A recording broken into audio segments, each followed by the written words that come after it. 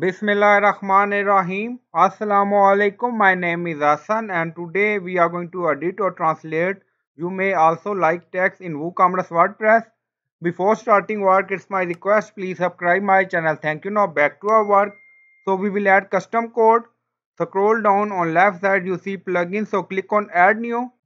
Then in search plugin write WP code. So this is plugin WP code insert header and footer we will use. So you will install this plugin and activate it and after activation scroll down on left side you see code snippet then you see add snippet so click on it. Now scroll down you see add your custom code so again click on it. Now create custom snippet section open. So you can add title here then you see code preview on right side you see code type drop down select PHP snippet. Now we are going to paste code here. Now paste code and you will find this code in video description or in comment section. Now you see text customer also purchased. So you may also like text replace with this text. Now scroll down. You see insert method auto insert location run everywhere on top inactive now active and then click on save snippet.